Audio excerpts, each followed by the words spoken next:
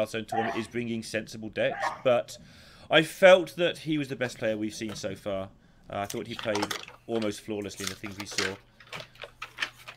Interesting. see, um, versus Zenith. Uya versus Zenith, in fact. Uya versus Zenith indeed is our matchup on the deck, and they are not messing around. They're getting straight into it now, he says, after talking inanely for the past seven and a half minutes or so. But it is going to be Druid versus Hunter, Fandral and Living Roots in the opening hand for Uya, just missing that little bit of ramp to tie it together. The Hunter, fairly aggressive start, but abusive sergeants need to be paired with friends. They're not things that you just kind of want to slam on their own. Love to be able to get those uh, fiery bats or argent squires to be able to pair with these abusive sergeants. So, uh, not the easiest of mulligans for either player, I'd say. Yeah, and it's interesting to me that the the more aggressive hunter is slowly but surely sneaking back into more and more events. Yeah. Uh, what's what's causing that to happen? Because I don't think anything's really changed in terms of the hunter cards. I mean, a hunter deck at this point is is Call of the Wild and 28 other cards, right? I mean, sure. that's that's where your power lies, and even beyond that, like a, a lot of the the mid game of the deck is consistent. You know, your your infested wolves are in there. Almost everyone is back to running Highmanes now as well. Mm-hmm. Um, so your your choice of early game package kind of comes down to whether you jam your deck full of all the three twos um, all the two mana minions as well. So you play like Kindly Grandmother, Huge Toad, and King's Elekk and really load up on twos. Yep. Or whether you go for that that tempo opener with the Argent Squire Abusive Sergeant Direwolf package. Um, and honestly, it's just kind of a flavor pick and it's just kind of a matchup pick. If you if you're going to be just like beating up on control decks, you'd rather have the big pile of three twos. Yeah. Whereas for the the early board contesting matchups, where you know you might have to trade into one threes and three twos from your opponent, that's where Squire Direwolf abusive package really comes into play. Yeah, and I think that I don't know. I just see it's interesting that more and more people are going with this slightly more aggressive package. Maybe they're just finding it more consistent. Obviously, when you start to go lower and lower in mana cost, you just survive through to that turn eight and turn six. Those key turns a little bit longer. Maybe people are finding that more interesting because Yeah. the other the other build, if you don't get that Houndmaster, then quite often it just falls apart rapidly. Yeah, I agree. I mean, there was there was a period where um, hunters were were putting Doomsayer in their deck just to try and skip that period Mhm. of the game entirely. Um, and I think players have realized that it's more consistent if they just, you know, try and basically use the same early game package as everyone else is using, which is Argent Squire, Abusive Sergeant. Those two cards just kind of go together perfectly. Um, so if hunters can pack that in as well, and then you know use that to sometimes compete with zoos and tempo mages in terms of opening, then their mid game and late game just kind of spirals the game away. Right, and Uya going, oh yeah, you, yeah, Uya going for this very early uh, mana ramping here. So sometimes draw cards with that, but he's decided that he's going to be fine because of this ancient in Oh. his hand. Yeah, no, no. With, with with both nourish in hand, the first one almost always is used to ramp. Yeah. Almost every single time. And then you the just second use one, this. the second one can be used to refill exactly. Yeah. Okay, and uh, this is going to be interesting how this progresses now because this ancient is going to eat a deadly shot at some point in the future.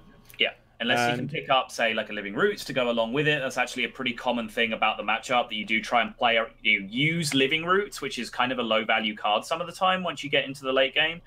Eh, you know, it's exposed to unleash the hounds a lot of the time. So pairing it with like a huge taunt actually serves the double purpose of protecting your living roots from unleash the hounds and protecting your huge taunt from deadly shot. Um, so Yeah. norm in, in a lot of situations, druids will be trying to pair those two cards together.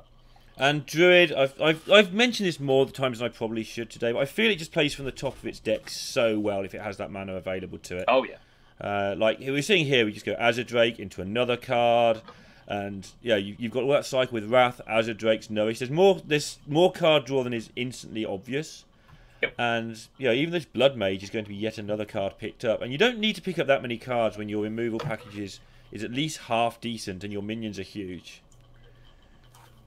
Absolutely not. Uh, Zenith now might just be considering the the relative merits of uh, the deadly shot for tempo here because that that Drake is is kind of irritating to him otherwise, but I think he he knows that the the bigger threats are going to keep on coming here, so he's just going to go ahead and trade and not you know bank on the tempo of that Misha to to push him through. Which, to be honest, it was a it was a lot of tempo moving forward, right? I think the thing Hmm. holding him back there is that he had the he, he didn't have a tempo play available to him to drop another minion without using the coin. And if he'd have had to use the coin, he then couldn't coin Highmane the next turn. So if he had one more mana available to just squeeze in an extra minion, I think we might have seen that deadly shot come down. But holding on to it here is looking pretty wonderful for him as he's met with the Ancient of War here. And uh, Zenith is going to go through the motions of considering the rest of his turn, but that deadly shot is happening almost certainly. Right, I think that was incredibly well dodged there. Actually, uh, just like you say, that extra mana possibly saved him, but yeah. you know, even then, deadly shot hit you for four, have a four-four in play, still feels like a good play, and I, I think he's done well there to be now in this position. His reward for his patience is he is taking over this game in a hurry. Yes, he is. And Kindly Grandmother developed alongside. Looks like he's just going to go ahead and coin out the Abusive Sergeant. No, turns it down in the end. So just going to rely on his Highmane here. And I, I, I kind of like this. Like, the Abusive Sergeant, one of the best tempo cards in the game. So by holding onto the coin here, he can uh, tie his Highmane in with a tempo swing with the Abusive Sergeant in the same turn. Mm-hmm. And then that can just be particularly crushing. You know, if, if they an Azure Drake or a Mire Keeper or something was to hit the board here, even a 3 5, you know, one of the high value 3 yeah. 5 minions he can use to trade with the Infested Wolf. Also, good to get value out of that Grandmother if he does play a 3 3. And also, keeping the coin means that if, if he gets the Call of the Wild, he can play Highmane into Call of the Wild. Yep. So, plenty of reasons not to just put a 2 1 on the board right then. I like it. And Uya is his hand just not looking ideal right now. He can just drop an 8-8, but the 8-8 is it's it's it's just going to be a little bit slow in this situation. Hunter has too much life, honestly, to be engaged in a race situation. Um, so Uya has to really consider his options and think whether this 8-8 is going to have the initiative on the board that he needs, or whether he needs to cycle through his deck with the Nourish and try and pick up more removal options to deal with the board that's in front of him, and the board that honestly is only going to snowball from here. Yeah, and I mean, it seems incredible to say, but there's an option to not play the Highmane here. There's also the option to play the Highmane and just ignore the fact that 8-8's there for a turn. And just yeah. play Highmane, hit face, and then next turn all hell breaks loose. Yeah, what I... I mean, how well protected are you against spell damage swipe in that situation? That's always right. the consideration, and it's not terrible, right? Like, the 8-8 goes into the Highmane and then what gets swiped? The 3 3 body of the wolf. So there's one ones and a 3 2 left over from the respective death rattles. Yeah, not... I don't think he minds that. He gets value out of his wolf, his dire wolf anyway, if that happens into the yeah. grandmother. So it's just not terrible, is it? So yeah, I like this. And the other play is really susceptible to swipe. If you if you pile out a load of uh, dire wolves and abusive sergeants and give the giant like double wind fury or something, yep. bad things happen. So Fandral picked up does have Fandral Nourish, but the uh, the impact of Fandral Nourish has been lessened. But it's always at least beneficial because you basically get to play a three mana Nourish because you get the two mana of ramp back as well in mm-hmm. full crystals straight away. So it's usually beneficial to do it even in the late game. Um, picks up the Raven Idol, but this is going to need to be something spectacular Cenarius is not bad. Mark of the Wild is not bad. Swipe isn't bad here either. Don't think we're going to be seeing Wisps. Yeah, he's going to work out if he's on the Yogg. If he's on the Yogg plan. He's just a case of which, when the Yogg is planned that he's going to have to work out. And mm-hmm. I feel like it may even be next turn. He doesn't have long to live. He has less time to live than he expects as well, but well, I mean, he. I think he's he's quite happy to put his opponent on a kill command at this point, right? And and one kill command is basically almost representative of that entire hand of damage that he has right now. So, okay. Yeah. Um, I think he, he's he's he's reasonably expe- expecting the the level oh, dear. of damage. That's oh dear is the only way I can sum that draw up. That is huge. So 10 damage on board. Houndmaster adds 2. Direwolf adds 2. Direwolf adds 2 more if he coins them out. Hero Power can substitute for either of those direwolves if he wants to go down that line. Means he is not quite there yet. No, but he's in a position where. I mean, the reason he's going to take a long time on this turn is to find out what board state he wants next turn. He has so many two-turn lethals that, you know, how he goes about that is irrelevant. He, what he wants to do is make sure his board is as stable and comfortable against Yogg and against things like Swipe and Wrath. Yeah, uh, it's actually sure. It, it's it's fairly irrelevant, honestly. I mean, you might as well play the Houndmaster because it actively adds stats to your board, right? It's actually Yeah. increasing the toughness of the things, making them harder to remove. But often in situations like this, the, the rule comes down to use your situational damage now while the situation is right for it, Mhm. and keep your non-situational damage back. Um, so that you can use it freely whenever, but it just all of this damage is situational right now. So he's he's coming down to the point where it doesn't really matter. So he just goes ahead and just jams the Houndmaster for, for maximum value on the Highmane. And this is looking like a bit of a mess here, but the, the spell damage swipe now a lot more appealing than it was on the previous turn. In Yeah. fact, it's now a full clear. Yep. Going to put the one one uh, the face into the grandmother. Yep. And then clear everything up and hope he doesn't die. And Whoa. at the moment, that hope will be Whoa. whoa. Whoa, whoa, whoa, whoa. So he's not. Uh, Is he I think moonfiring? that- I think there's an arcane giant play. Yeah, there's the arcane giant play available. If he uses the moonfire Sure. instead, he can tempo out the arcane giant. This is actually just a lot better. Yeah, that's fine, guys. Hold tight. So now we have an 8 8 racing a hero power. That is what this game has come down to. And just more situational damage picked up from Zenith. These are the early game cards that he wants against the board struggle decks, the zoos and the shamans. These are not the things that he wants to be picking up when he wants to be just peeling that call of the wild off the top of his deck. And this is why some people play tracking in that one slot. Oh, yes. I want three more chances at Call of the Wild right now. Yes, please. Yeah, I mean when when the level of power discrepancy in your deck between an average card and Call of the Wild is as high as it is, by which I mean Call of the Wild is just so much better than the other 28 cards in your deck, then playing tracking makes a lot of sense because the rest of your deck be damned, you just want to hit Call of the Wild every single game. Right. Okay, so Uya's got to be careful. Obviously, he's got so many ways of just dying to know, quick shot to call the wild off the top. Uh, quick shot, I'm assuming, will kill him a lot of the time. By the way, obviously, it's not 100%. And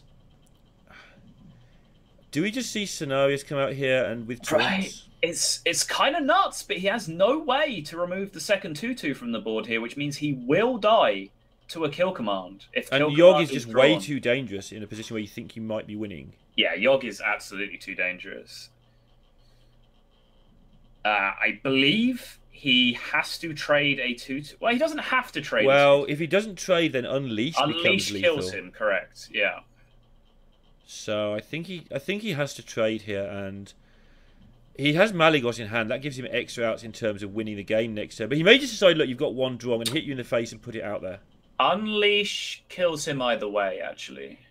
Okay, in that case, you should go face. Yeah, because even if there's only one dog alive, remember the dogs are doing two damage. Yeah. So two dogs trade in, and then the dogs go face. The the actual wolf goes face for two. The dog that slid over goes face for two. So it is correct to lower the amount of turns left Yep. by hitting face, and that's what's happened, and that's going to work for him.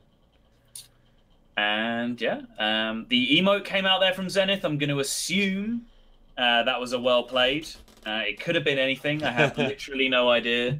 I'm going to assume Zenith is a nice guy and just tossed out the well played there. And you can see the uh, the relief, the, uh, the the release of the all that built built up anxiety from Uya there. Very very tense first game, and he is the one that's going to come out on top, picking up an all important win for his druid uh, against a deck that is. Uh, pretty adept, honestly, at beating up on druids.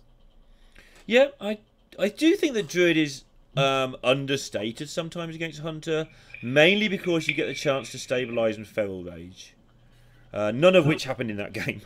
No. But And also, the the Mali druid is generally cutting a lot of feral rage. Like they they are Yes. cut- they are making room by cutting the three mana spells. So normally. You know, it, it wasn't that long ago that we were seeing three copies of those spells in the deck. You know, like two Feral Rages, one Mulch, or Yeah. the other way around.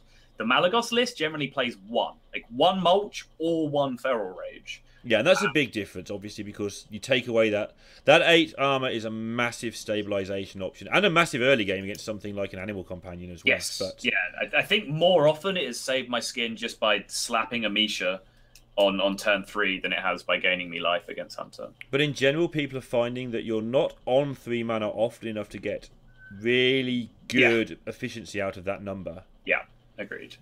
Turn three is the number one turn you want to skip as a druid player. If you see that amount of mana come up, you have failed as a druid, and you should feel bad.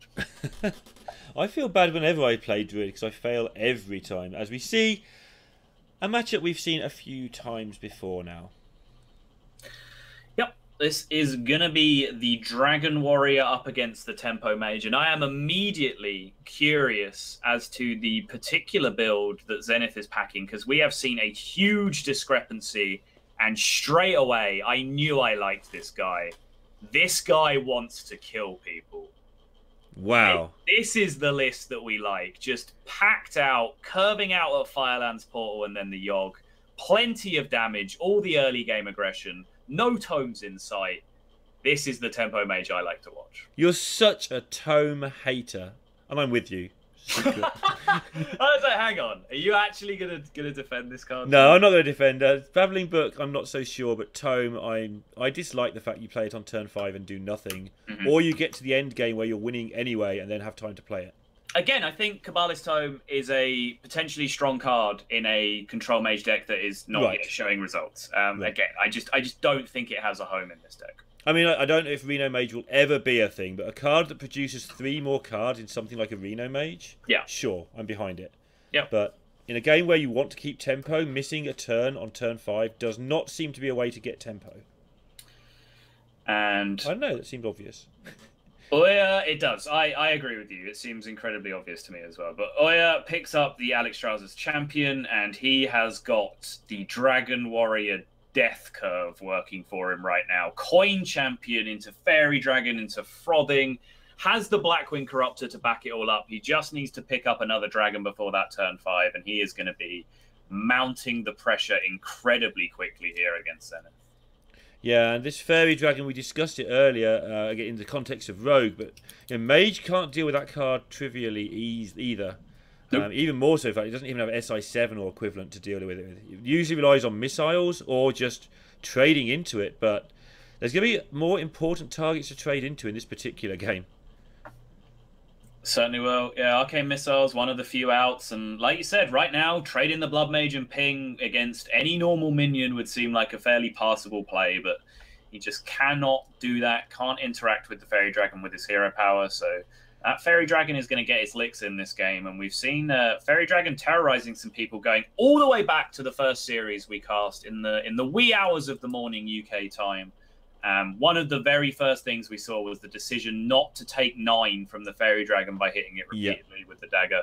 That option not available here to Zenith, but the same sort of situation where the uh, the lack of interactivity with the fairy dragon is going to come back to haunt him here because this is now just a free trade into the acolyte. It just can't be pinged. It's just sat there as a three-one. Yep, Zenith, you know, needed the cards anyway. He had no other realistic option last time unless he wanted to waste mana. But now he has to deal with four mana, dealing with what's going to be an army of frothing berserkers, and they're going to be angry as well. Yep. And Forgotten Torch is not the card he was looking for here. Frostbolt would have been so much better here. Frostbolt Ping, Cult Sorcerer, Frostbolt, both would have been valid plays in this situation, but Forgotten Torch not going to get the job done. And this is where you sit there and you work out the math and you hope the frothing berserker isn't really about to go completely insane, and then you're sad because it does. Yeah. And he has friends. Yeah, this is this is the point in time where your opponent Oh. draws. Uh, uh, uh, yeah, I mean that's that's pretty disgusting. So can he now work out there's no way in hand for Zenith to kill this?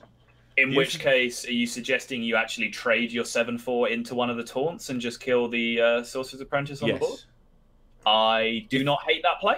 If he can if he can definitely or, or as close to definitely as you can work out that there wasn't a way to kill it last turn, so there's a good chance he can't kill it this turn. Let's just occupy the board anyway and have this absolutely monstrous threat. Okay, he's going to hit for nine. I'm fine with that as well.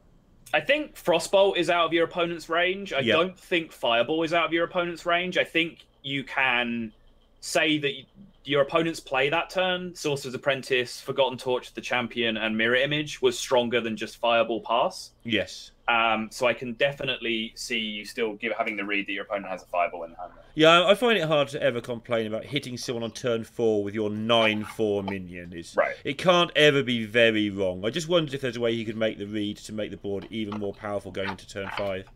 Uh, this is obviously fine.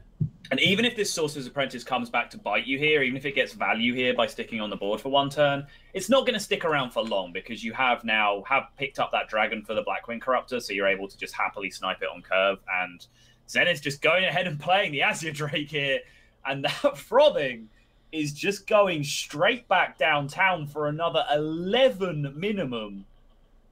Right, what method do you choose here? Uh, you can obviously just play the 5 4, trade in your Fairy Dragon, and hit your opponent for, I don't know, 13, or you can do this. wow. Oh, beautiful. It's like, deal with that tempo mage you had no answers last turn. See what Yeah. you what do your worst. Yeah, because because now you're ruling out Fireball, right? Right. Now now Fireball's gone. Now Frost uh, Frostbolt is gone from the equation already. You haven't brought him up to Fireland's Portal Manor yet, so you know that's not in the equation. You know Flame Strike isn't in the equation. Like, what answers are left that he could possibly have? Answer none, and that is a ridiculously quick 2-0 for Uya. Yeah. On the very micro level there, right at the end, in the in the world of one Mhm. uh, I thought it was interesting. He decided to draw cards rather than play the portal. Uh, I think that you have. He couldn't play the Portal. Oh, okay.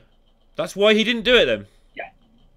Sure. He could. Uh, he, so he had six mana. So the portal cost six mana, but only after he played the Sorcerer's Apprentice. Sure. I'm just looking at numbers in the corner of the screen and not paying attention because that's my job, right? Yeah. Sorry about that, guys. Anyway, 2-0, like you say, incredibly fast start, and yeah, nothing more to be said. Convincing. Indeed. So Zenith now has a very long road ahead of him, but Uya just has to pick up a couple more wins here. But I actually sold a certain deck short earlier. I said that there was very little Warlock representation in this tournament. Oh and no. all of the Warlocks that are present were Zoo Warlocks. What that is it? information, Lorinda, is incorrect. You're going to make my day sad, aren't you? I'm not. Oh, what have we got? We have a deck that is packing two Mountain Giants, two Twilight Drakes, two Faceless Shamblers, two Doomsayers, two Sun Fury Protectors. This is not a Reno deck, Neil. This is Handlock. Wow. So you're having like your best day ever. You get I to see actually am, yeah. Patron and Handlock, which Yep. were your two favourite ever decks, flash back or flash forward into 2016, and you get to cast them both in a championship event. Yep, indeed. Uh, I'm in, jealous. in before that's the deck that's banned for Uya. yeah, because we get like two seconds to pick up that information, unfortunately. So, apologies for that. As we see the Hunter versus Druid the other way round, and this could be huge for Uya. Yeah, certainly could. I'm just going to take a quick look at Uya's hunter list here. He is favouring much the same thing as we've seen, but he's gone for the big pile of two drops plan as opposed to the uh, Argent Squire abusive plan. He's also packing a Tundra Rhino in there in that weird flexible five slot that no one really knows what to play. Yeah, the five slot in Hunter is horrific. Uh, I think that the best straight up actual standalone card is Kodo in that slot. I was about to say, don't say Princess Huhuran. I didn't, but I might do in the future. okay. Um, but for some reason, the Kodo plan, if it works, you're behind anyway, and it doesn't really swing that much because the way that decks are sort of spewing two threes all over the board. And the it- answer, the answer you're searching for here, Neil, is Stranglethorn Tiger. says Strangletorn Th- Tiger's actual personal PR assistant, Yeah. Sottle. Stranglethorn Tiger is just correct. I am surprised it's not played more. I must admit. I mean, you've Yeah. slowly but surely sold me on that card over the last few events, Mhm. and given that everything in the deck struggles on turn five, a five guaranteed inverted commas, whatever you like, damage spell seems pretty good. Agreed, but we are nowhere near turn five yet, and there is a big old pile of removal sat in Zenith's hand alongside an Innervate, So he has the the chance to make some magic happen. He can go Oh. all the way through to Nourish here if he would want to. They're both calling for an looks admin. So. like they are both flagging for an admin here. If there is a disconnect, and this is about the time you want a disconnect Yes. to happen.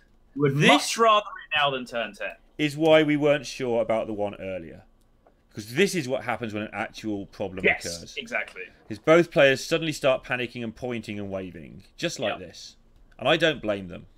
And honestly, both people, uh, both players there had perfectly reasonable hands. You know, Yes. um, Uya Uya had a, a strong curve to drop into animal companions, um, and uh, Zenith had his Innervate, and he had a, a big pile of removal and a nourish. So both players were looking in, in decent shape to be able to stalemate each other for the for the opening few turns there. So I don't think either player will be too hard done by if a regame does happen.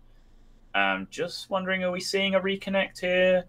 Uh, looks like the rope is about to burn out, so I expect we will now see a remake of this game. But again, we are simply rebroadcasting this event. We do have a liaison who's uh, giving us, feeding us some information, uh, liaison at the event in Japan, but he is a very, very busy man who can only feed us so much information. So we are kind of just functioning on guesswork here as to what's going on. But hopefully, we get a resolution to this situation as soon as we can. So I think that casters sometimes do overstate in the interest of saying something, you know, the the mental aspect of this sort of situation. But there's Mhm. definitely something in this particular situation to be said because both of these players will feel they were going to win that game. They don't ever get to know what the other guy had in his hand. So they've only seen their own hand, and they will both think, "Oh my goodness, why did this happen to me right now? Japan, blah blah. Why me? Not like this." Yeah. And so there is definitely the opportunity to tilt after something like that occurs, especially if you're in Zenith's shoes, you're 2-0 down, you thought you were going to win game one, you didn't, and now this happens in game three. So I think there is definitely some aspects of the mental side of the game here where, you know, both these players better be on their game because if they tilt slightly here, that's going to be a big problem. Yeah, I mean, we, we saw in the in the previous series, right, a player who went through some adversity with a disconnect situation, and it honestly just seemed to tighten up his play afterwards. That that little break and that moment to Mhm. refocus seemed to be exactly what he needed. So, yeah, no surprises here. It is going to be the regame. Both players not looking like they have the uh, the quality of opening hand just yet that they had in the first game. So we're going to see a pretty extensive mulligan here from both players, I'm sure. And as you said, both players here have the potential to feel hard done by because they both would have liked the look of their opening hands. So if you're Uya, do you keep the deadly shot? That's the only card out of the seven cards that feels like you might want to keep it to stop any potential Innervate stupidity happening to you. It's it's possible. Um, what I will say is that if you curve out with this deck, you you know it's it's not like Zoo where you play a one one on turn one and then they innervate a three five into it, right? Like Right. you, you quite often have a 3-2 on the board at which point you know bow or quick shot or kill command like all these things can get the job done anyway so i like mulliganing for the curve and i think neil you have nailed this because look at uya's face looking at his hand here compared to what he had in the first game Right. He doesn't seem. I mean, he seemed a little bit fed up already with it. It's strange because he's the guy who's 2-0 ahead. Yeah. But um, yeah, he's thinking, oh no, now Zenith's playing this on turn one, and he needs to just get it out of his head and play Hearthstone because that's what he's here to do. right now here is a decision for zenith and this is this is illustration number one in you know the game being more than stats because Right. making the jungle panther making just the panther here sorry is five stats on the board Yep. Which is what he's gone for, buffing the two one ones is four stats on. and plays around things like Unleash the Hounds, exactly. Right. Uh, you know, Fiery Bats. fiery bats, huge toads. So there is merit, right? Like stats are not just stats. The distribution in which stats appear matters enormously. So that's why you saw Zenith even stop and think about that play because if Hearthstone was purely a stats game, there's no thought there. You make five stats instead of four. But you Yeah. saw Zenith pause and think about whether he'd rather have the two twos on the board. And this is something that when Barnes came out, people were like it's not a Yeti. Like it was described as a Yeti's amount of stats. Yeah. And like you know, the pro community jumping, it's not a Yeti. It's, it's it's it works differently. But actually, the way things have panned out, Barnes' distribution almost feels better than a Yeti oh. sometimes. Oh, oh, that's a tilter. That is a tilter right there. the fiery back connecting to face with those two juicy one ones sat on the board. Right, we've seen a lot of that tonight actually. Uh, people just shooting face and missing one ones. But yeah, Barnes' stats have actually seemed to be split into a. You're a little bit ahead of the action, by the Oh, way. my- so, I yeah, that's fine. Um, yeah, Barnes' stats seem to be split, especially when he gets to 1 1 and 2 2 2s, into a much better distribution than just a Yeti these days because people are going wider and wider with their boards in general. No, I, I, I totally agree. But yeah, particularly when your 1 1 of stats comes out in the form of a Savannah Highmane. Sure, that tends to help just a little bit. So just going to plop a teacher on the board here and hope for the best. And depending on how much tidying he chooses to do here, he might just play straight into the deadly shot that Uya chose not to keep, but in fact might end up coming back to pay dividends here. Right, and if you can draw it anyway, then I think not keeping it is definitely the right thing. You'd rather have it on turn sort of five or six than turn three most of the time, apart from that sort of double Innervate craziness situation. Yeah. Uh, Zenith, Um, but, but again, it's one of those weird situations where you know people will naturally call trading the safe play, right? And Right. you know, attacking face the risky play, the greedy play. But in this situation, he has exposed himself to deadly shot, which is a, a play that just attacking face with all of his minions did not leave him open to. and because of the nature of the Highmane, this is absolutely as close to perfect as he could hope for on this turn. Yep. And Uya in a really strong position. Just gonna nourish here for the ramp and gonna curve into that Ancient of War next turn now. And there is going to be a certain uh, rhino shaped fellow that is going to have something to say about his opponent just dropping a seven mana minion on the next turn because Right, this needs dealing with. Yeah, you do not leave Tundra Rhino alive. Like at your peril going into turn six or turn eight. Like, you know, leave that thing alive at your own risk. Yeah, and or if you have no choice, then sometimes you just have to do it. But it's going to end badly for this particular Violet teacher. Or it, he's got choice; he can just go face. To be fair, as well. He can indeed, and uh, the ramp play means that uh, Zenith obviously now thinks he's living in a Yogg world. He realizes with the the Tundra Rhino now on the board that the the Ancient of War is not going to be enough to get him out of trouble here, and charging Savannah Highmane, the absolute dream. Like I, I can't tell you how many times I've been tweaking a mid range hunter deck and thought, hey, let's try out Rhino again, just thinking that this was going to happen every game, and it never does. You Uh, never get to do this. you need to Uya practice is it living harder. the dream. I guess I do. Yeah. And I mean, this is horrible now because obviously, in the worlds where it isn't lethal next turn, which are not that many worlds. You know, Rhino, uh, the Highmane gets to trade, and then it gets the two twos to attack. I mean, just all the obvious things that the, the guys that are produced from the Highmane also have charge. It's like it's like Patron all over again from last year. It is. I mean, No wonder you like it. Raven Idol into naturalize the Tundra Rhino and play an Ancient of War. I mean, that's the only alternative to Yogg. And if your alternative to Yogg is already that ridiculous, you might as well Yogg because you're asking for madness to happen anyway, right? So, but this situation is why Yogg originally got a reputation of maybe not being broken. A six or seven spells situation, maybe. Yeah. Uh, where Yogg is so much less powerful than 11 or 12 spells. And Zenith actually sees the funny side of that. And that exact Yogg is why people went, What's wrong with this card? It's fine. Yeah. Because Yeah, I mean, it wasn't Yogg- yet Yogg- integrated. Yogg, Yogg was a joke, honestly. Like Yogg was treated with the same kind of uh, of derision that we've been throwing towards like Cabalist Tome, for example. Right. It was like, you know, I thank you to my dear opponent for playing the card Yogg-Saron in your deck. Thank you for the free win. You know, this this is not a long time ago. This is like two or three months ago that Yeah. that was the attitude. And now Yogg is almost universally agreed to be, you know, top three most powerful cards in the game, if not top one. Yeah, I would definitely agree with that. Um, the reason I make that point is it's because when you're in that situation, it's worth remembering those times because Yeah, your I Yogg with six or seven spells is so different from your Yogg of 11 or 12 spells. Yeah, absolutely agree. And so you mustn't just. I mean, he had to do it there, it was the right play. But if you're doing it as a matter of course to put your faith in the Yogg and see what happens, you're doing it wrong. At least on that number of spells. Yeah. So Uya so far has swept with his Dragon Warrior. his Yogg Druid, and his mid range Hunter. There is one deck left. Depending on what the ban was, it could be the mid range Shaman or the Reno Lock. Uh, not the Reno lock, The sorry, hand the lock. hand lock. My apologies. Um, so yeah, we will uh, wait and see what the last remaining deck is. Again, we are just working on secondhand information here, so the bands did not get relayed to us, as of course they do to the casters. I think you can probably just make out on that little screen down the front. There is a graphic on there that I assume has the bands on it. That I would love to be able to make out right now, but I yeah.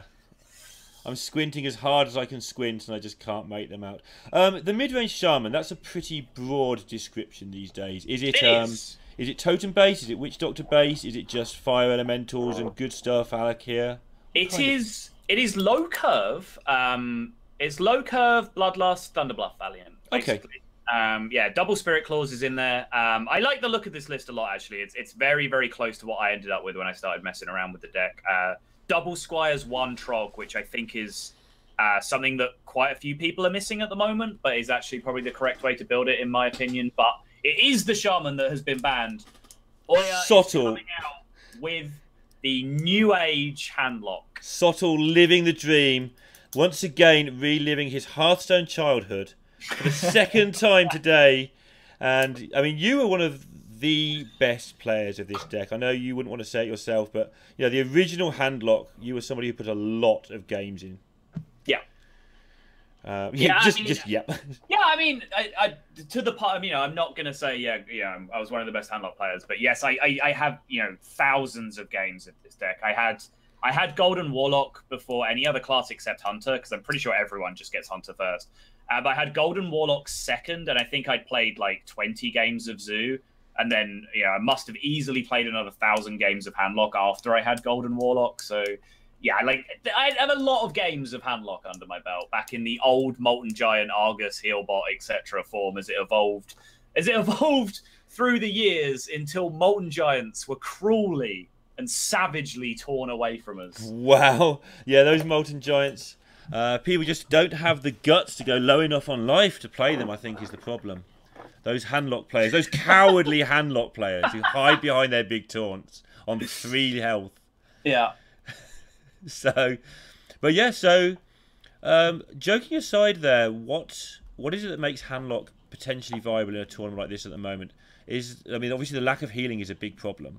It is. I mean, honestly, I, I wish I had an answer for you, but every experiment that I have had with this deck, it just has come up wanting for me. Um, I and it's not even the loss of the Molten Giants; it's the loss of Healbot, Sludge Belcher, like these these mid game defensive tools, so that this scenario that Uya finds himself in right now, where already he's looking at his life total and saying, right, if that board gets to connect with my face one more time, I probably lose.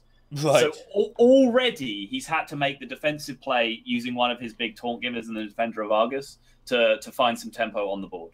But talking of nerfed cards, that doesn't seem to bother Uya.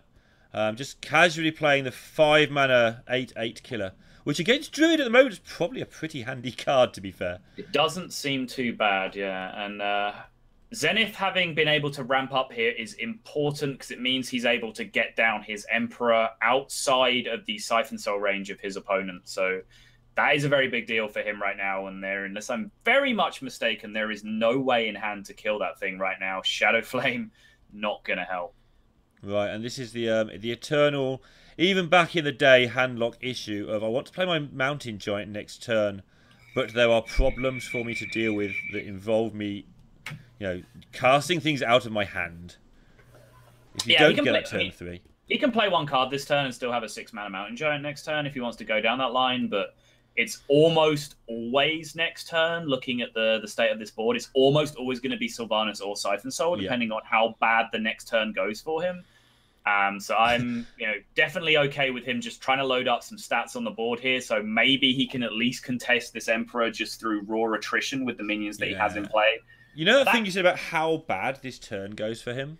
Yeah. It's bad. it's really, really, really biblically, astronomically, Oh, catastrophically, Holy and continuing to get worse with every single moment. Uya is just going to dig himself a hole right now. Yeah, I mean, Zenith is just limited by how many spells he can play in 70 seconds at this moment. Yeah. It's um, taking his time, like he has done all match, to be fair. I've been impressed with how Zenith's kept things, you know, he's 3 0 down. It's easy to say he's doing things wrong, but to be honest, he's, he's played carefully and steadily.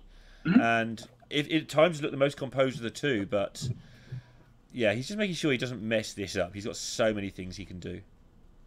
It's going to go with the Wrath instead of the Living Roots, which actually suggests to me we're not seeing a Power of the Wild turn. Hmm. Interesting. Is he is going to use the Power of the Wild, but he no, he's going to use the Hero Power instead. Okay, this is this is fine. I I I don't really see the world where you cast Power of the Wild without using the Living Roots there instead of the, the, the Wrath, but just using the Hero Power so that you can force that 5 damage through to face, that makes perfect sense to me. But as I said, yeah. just Sylvanas here, contest the board, try and make a mess for your opponent, see if he can sort it out. But just again, look all those glowing cards in hand. Right, this is just game, right? Yeah, just Living Roots, Living Roots to face, Power of the Wild. That is going to finish the job nicely. Yep, and all you're doing the right thing there, by the way. Like, if you can't deal with all of the threats, just put down Sylvanas. And mm-hmm. in the miracle world where you somehow get back into it, that's the way to go about it. But not getting back into it is an understatement in this position. Yeah, that that game was a mess, and that right there is very much my experience with trying to play Handlock in 2016. Yeah. Um, it, it, it just doesn't seem to work from my perspective. So, I mean, I'm happy to be shown something from Uya here, but I'm also really, really fearful that this is now going to be the deck that lets him down. But I hope for his sake. Obviously, he's got this far. This is, again, Conquest format. So he has won games to put himself in this position, and the handlock will have had to have won unless it was banned. So there, he has obviously had success with it so far, but I mean, it it just was just found horribly wanting in that game. Yeah, I mean, the Druid just stomped straight through it and never had a chance. In fairness, he had a fairly awkward draw. He drew the the two protectors and not much else to go with them. No early big things at all, which you know that was always something that could happen to Handlock. It's just if those things happened before, it would have other ways out, and now it doesn't have those. Uh, it has been played recently. I think AKA Wonder played it at Insomnia, so it's not a deck that's been completely dead for. Forever. Did he? Really interesting because he was so. he was running with you know different Reno lock variations and Cthulhu builds and such for a while. So yeah, interesting he that he switched over to handlock. Straight handlock. He was either went with it or he was going to and changed his mind at the last second. It was one of those two things. So yeah, we are seeing top players still play around with handlock and give it a go.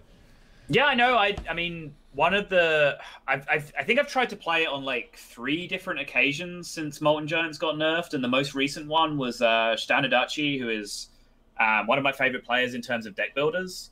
Um, posted a list on Twitter and said, "Hey, I've been hanging around like top 100 Legend with this deck." Um, and you know, I, I, I tried it for his list for I don't know, you know, 15, 20 games or something, and like was like barely holding like 52, 53 percent with it or something. Right. I this this just can't be good enough. Like I know I know Standardacci is a god, but come on, like this this is ridiculous. And again, I guess Doomsayer here is fine. Uh, you do have to play it incredibly early, like turn one early sometimes against Hunter though. Yeah. And obviously you don't really want to be using that coin. But what else are you really looking for? So you might as well keep it. Uh, refreshment vendor, I don't think you keep. Perhaps you do. Uh, it's it's it's questionable for sure. I mean, you're you're never going tap tap Mountain Giant in this matchup, especially since you kept Doomsayer, which kind mm-hmm. of rules that out anyway. With the coin, you have to play a card on either turn two or turn three anyway if you're going to go into the tap tap four drop route. You know, kind of the classic yeah. handlock opening. Um, so the Doomsayer doesn't interfere with that too much.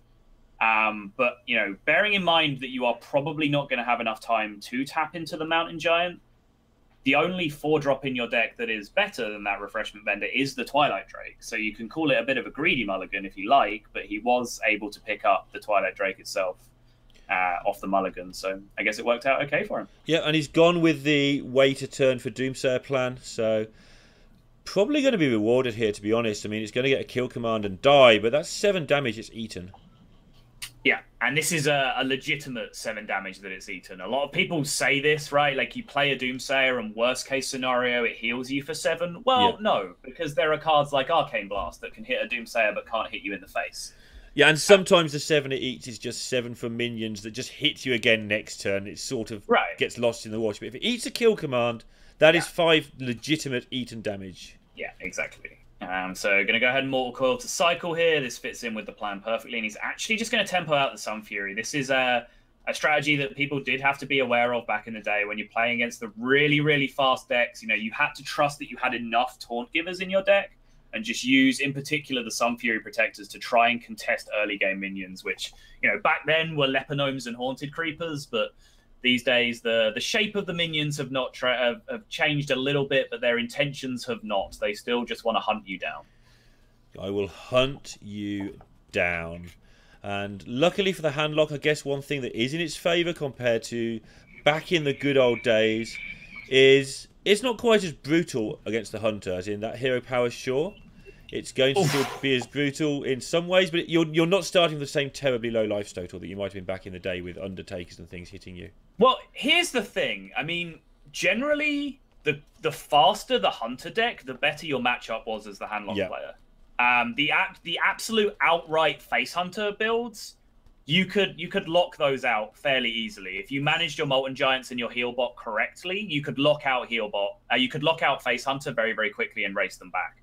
The the deck that you couldn't beat was just the big chunky double shredder double Highmane mid-range druid. That Right. matchup was horrible so that's basically what these modern hunters are emulating, where instead of you know the shredders and stuff in the mid game, they now have infested wolves, and now they're also just packing Call of the freaking Wild at the top of their curve, which is just another card that you can't beat. So I don't know, dude. I think this is probably a pretty torturous matchup again for the handlock. But I'm starting end- to spot a pattern in the cards you don't like.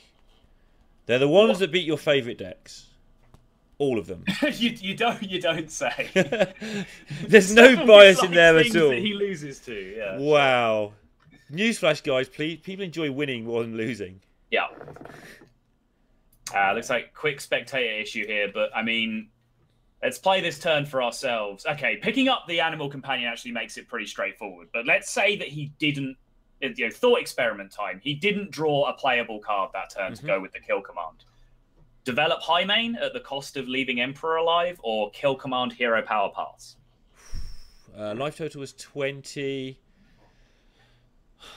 I'm okay developing Highmanes, I think. Okay, I think I agree with you. I'm one of those guys who sits there and if I'm not sure what to do, close my eyes and hurt somebody and hope it goes away. wow, you're a, you're a scary man, Neil Bob. and so, talking of locking out, though, at least for the short term here, Mhm. until your favourite card comes down next turn, yeah, this is this is a pretty much locked out position. But like you say, Call of the Wild is a thing. Call of the Wild is indeed a thing, and there is, uh, yeah, he's going to develop the Highmane, and there, oh, draws the Mountain Giant this turn, which is probably the worst card in his deck at this point. It's just going to be an expensive, clunky card because, as you can see, the hand lock is a bit low on hand right now.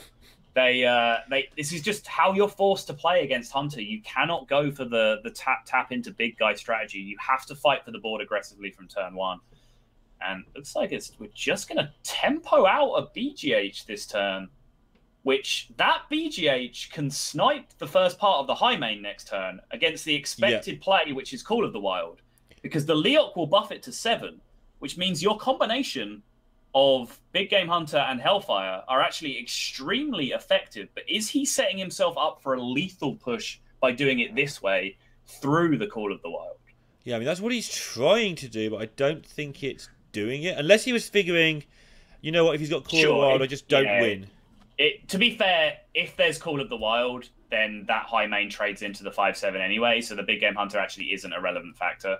So thinking about it in more detail, it doesn't actually make that big of a difference. So yeah, I'm going. I'm going with he. His play was to beat the non Call of the Wild situation. Absolutely, yeah, I agree. Cool. All right, and what do you do? You you siphon the Leokk, or do you find? Oh, of course you have got Hellfire in your hand. That'd be Yeah. much better. That'd be the correct yeah, play. you Hellfire, you play Voodoo Doctor, and then you probably lose the game to Call of the Wild number two. Soulfire is risky here. It takes so much expected damage off the board, though, by removing the last beast. But if you discard either Siphon Soul or Alexstrasza here, because you You may just need both of those to win this game. Can you take Soulfire and not play it? Oof. So then you heal yourself with Alex maybe next turn, and then hope to Soulfire them out the turn after. If you play Alex, you're not interacting with the, with their board next turn, which means how much you know? Do you survive 15 over two turns without doing anything to affect their board? I mean, he's seen one Call of the Wild. It's it's fair to assume there's not going to be another one. I mean, it's not that fair because we see there is, but Right, but I mean, like, Houndmaster two drop hero power? Right, like it, it's it's it's so easy for the hunter to generate pressure in this situation. hmm This decision could very much decide the texture of the game. He's going to give it up. Call of the Wild is going to come in with the extra damage. That is a six damage Huffer coming in and a three damage Leokk, which means he is one damage off lethal. Absolutely going to go through here and deny the life tap. And like I said, Alexstrasza here. What does it do? Um, again, I, I'm going to take issue with your tone of voice, young man. Um, I think I think playing around the second Call of the Wild would be harsh. I know he can No, still I play, agree. I so Houndmaster plus another guy, but Yeah. this was the only absolutely disastrous scenario. I, I didn't mind his play, though. I don't think. I I think I would have Soulfired on that turn. It is definitely hard because obviously I'm sat here staring at that second call of the wild, but I think on average against the amount of pressure I expect to face from my opponent, Mhm. um, you know, the line he took beats a, a pile of burn damage in hand, for example, or not like a pile, but you know, like it beats like an Eaglehorn Bow the face and hero power turn, right? That's what it beats because then next turn you can Alexstrasza yourself and you're in good shape. Yeah, Um, 15's a lot. I mean, say he plays Stranglethorn Tiger. Let's just give a minion out of the blue for Mhm. a decent five drop. Uh, oh, okay, let's say he plays Highmane and hits you in the face. Mhm. You heal to 15, and you've got lethal set up for the turn after, so he has to trade. Do you have lethal? Yeah, you have the eight mana, you have the eight for the Halix Straza and the four from the Soulfire, and he was on 12. That was that's why I was suggesting the play. Interesting. All right, yeah, that does change things. But yeah, so if Highmane comes down, then the Leokk is still in play, but you also have that Peddler in play, right? That can trade for the Leokk afterwards. Mm-hmm. So you are just dealing with a Highmane. So then, you know, Highmane hero power is just eight. So it would take more than a kill command after that to kill you. Ah, I mean, I guess it's reasonable. It's very difficult when you can see their hand sometimes to It is. think, Yeah, what I would. I do if I couldn't see this hand? Yeah, absolutely. Um, because what tends to happen as a caster is you overcompensate. Mhm. I was having this discussion with somebody about a play some time ago, and basically the casters missed a play because they were overcompensating for what they could see. They were saying, "Well, I know I'm a caster, I know I can see this, therefore it must be so much the other way." And then you realise you're doing that, and it, it just becomes really difficult to sort of sit there and objectively, sometimes in that exact situation where, you know, how much do you value that call of the wild, etc right. um, know Um, exactly what the players are putting him on. Meanwhile, tempo yeah, edge. distinctions of that one particular play aside, again, we just have to come back to the story of is this handlock going to be the downfall for Uya? He's he has just breezed his way through the rest of this series, and then just started to come a little bit unstuck with the handlock here. And again, I'm just looking at the interaction between this really aggressive tempo mage from Zenith, about as aggressive as it gets, with all the extra cycle and the torches and just saying, you know, how how does Handlock just out heal all of this damage? Right, so again, back in the day, you'd heal back up and then start tapping again and get your advantage that way and try to do that. But this, oh my goodness. This deck is going to put on the early pressure and then it's just going to burn you down. If you go below 15 with a deck that can't kill somebody quickly, you're just going to lose to fireballs. Yeah. And 3 3 is looking very close to Uya's future here. It is. Um, Not to so mention the really good hand from Zenith. it is really good, um, primarily because he can actually interact with the Doomsayer on turn two. Um, Mana Worm on turn one without basically this exact pile of, of spells to back it up would actually not do too well for him here, but he does have the ability to interact with the Doomsayer here if he would like to. All right, and the key phrase there is if he would like to. It's quite a few resources that gives you a 4 3. That seems decent. It does. Uh, but it does take away, or you don't take away your 3 drop because you've got the torch. Uh, it does take away your ability to kill, say, an Imp Gang boss. Uh, no, because you just you kicked with the fourth. Hit it with your mana worm. sure, okay, then yeah. you just do it. Okay. Yeah. And having gone through that a lot less clumsily than I did, Zenith decides, yep, I like that sound of that, and off he goes, creating his 4 3 and turn 2. So unless there is exactly Shadow Bolt drawn, well, I guess Peddler Peddler can give us the Soulfire Dream, I suppose, but uh, I think there is yeah exactly one Shadow Bolt. We uh, we mourn our dearly departed Dark Bomb in this situation. That's that's what we do. And a second mana worm paying a visit now, and yeah, just manipulating his damage the best way he can, which involves next turn playing a spell, but this turn taking his time and just casually coming in for five more damage. Yeah, it's an interesting call actually because there are two Hellfire in this deck specifically. There is two Hellfire, one Shadow Flame. So um, he he chose to play pretty hard into the Hellfire there with no minions in hand to back it up. He, he exposed his last minion to on curve AOE, which should always at least set off an alarm bell in your head. Mm-hmm. You know, whenever you're playing the last minion from your hand, there should at least be that trigger that goes off and says, "Okay, this is my last minion. Do I need to play it right now?" um, and into perfectly on curve Hellfire. I'm not really entirely sure whether he needed to. I fancy that with all the damage he has in hand, if they live, he just fireballs face and starts an unstoppable train. But if he just forgotten torches the face, if his opponent has the card Hellfire in his hand, doesn't he have to Hellfire that one mana worm in the first place? Uh, guess so. Although there's cards like uh, Demon, whatever, Wrath, Fire, whatever they're called these days, those cards they can pick it off one on one. So I don't, mind giving him a two Wait, for one. What are we talking about? The the thing that does two damage to things plus mortal coils. I was, I was still halfway through. There's Soulfire. Uh, well, none of those cards are in this deck. so- Right. Okay. awesome. yeah. I don't know. I, I'm living the torch face dream that turn and just jamming with the mana worm, keeping that mana worm back in my own hand. That, that's just me. I, I, I don't hate the play. Like pushing all in against Hellfire is definitely a thing that you you, you do sometimes. What about this Um, one? Do you let this minion live? Can it snowball, or do you just like, I don't know, play mirror and six to face? Uh, I mean, how much damage do you actually have right now? Um, you have 3, 9, 14, 17 damage, which isn't enough in the first place. Plus, you have to account for at least one burst heal. Uh, this deck plays both Alexstrasza and Jaraxxus, so you know you need to like pick up a pile of burn and kill them from 15, not, you know, incrementally deal with them over turns. So, yeah, I think you probably have to continue playing for the board a little bit more. And now the real issue, something that I think is understated in Mage. Like people say that Ragnaros is bad for Freeze Mage. I think the whole thing is eight health minions are bad for Mage in general.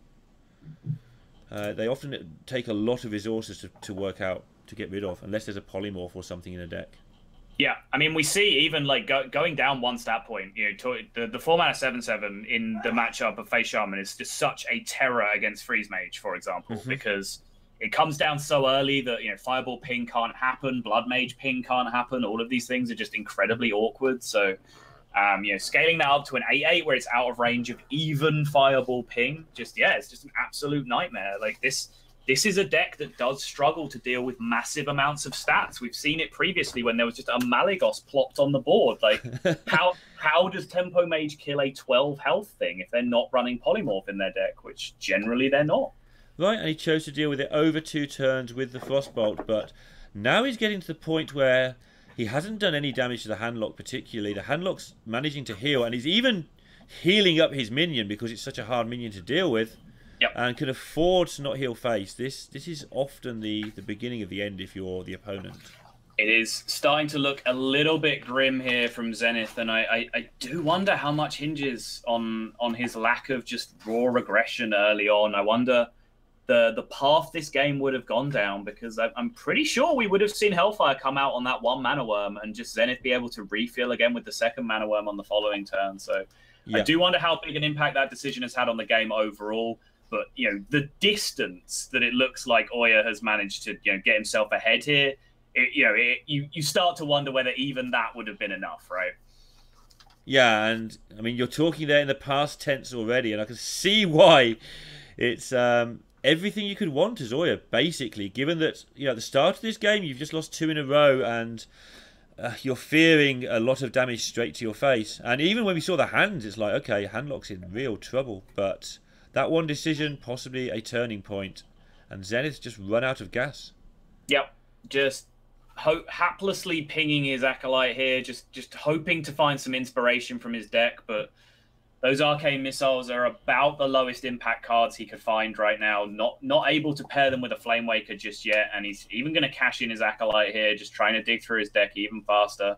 Cult Sorcerer and Azure Drake now means that he has a lot of spell damage piled together, but still not enough to make arcane missiles make a dent in what 16 health of stats on the board.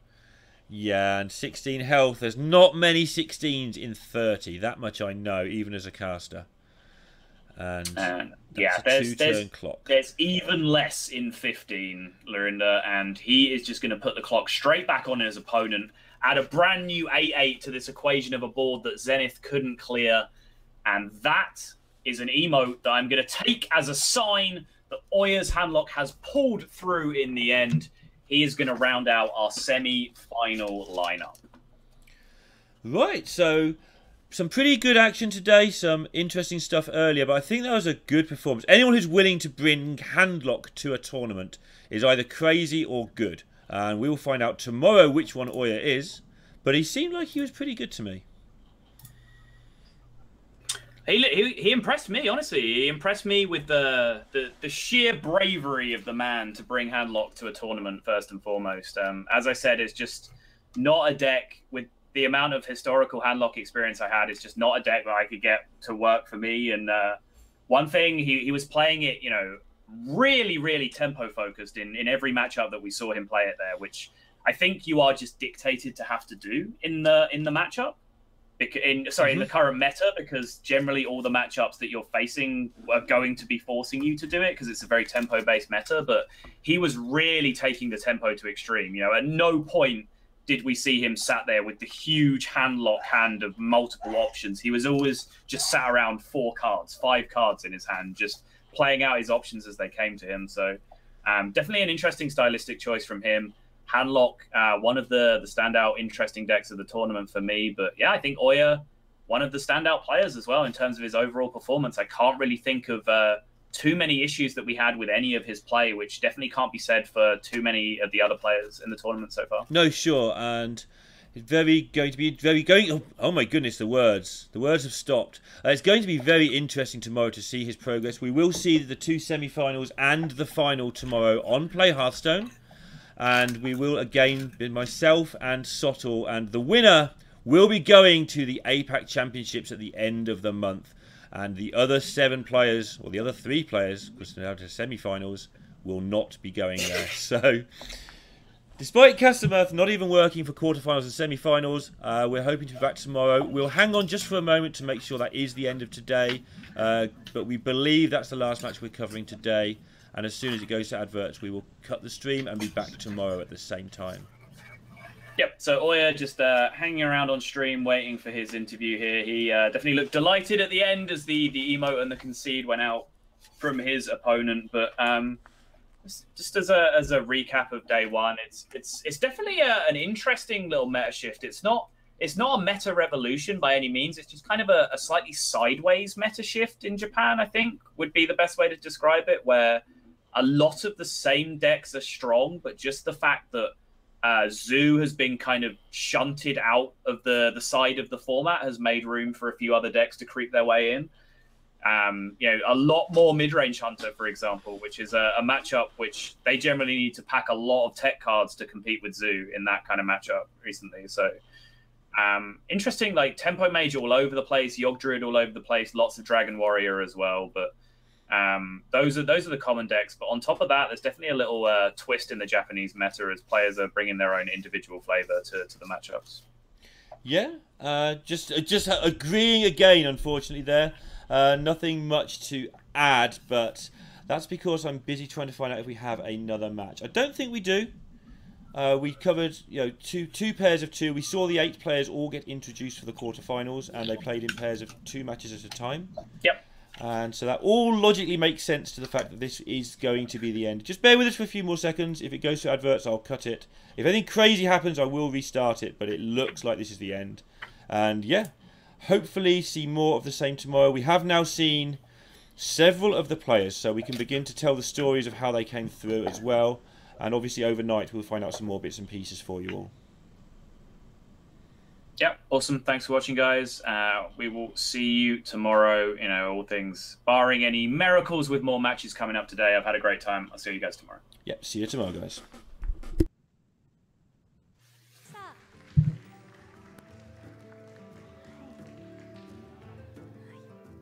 ここで皆様にお知らせがあります。